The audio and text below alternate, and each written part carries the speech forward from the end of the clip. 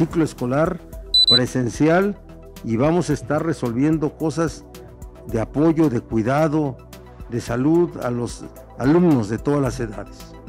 Ténganos confianza, por favor. Estamos actuando, lo estamos resolviendo y estamos actuando con mucha, mucha responsabilidad.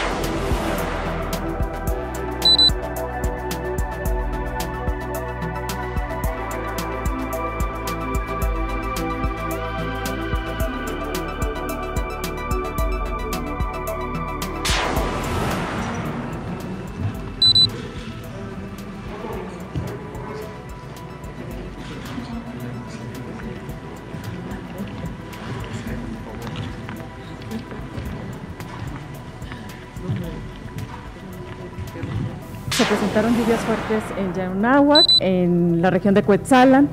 Hubo encharcamientos en Izúcar de Matamoros en algunas viviendas y patios. Se resolvió con el apoyo de Protección Civil Municipal.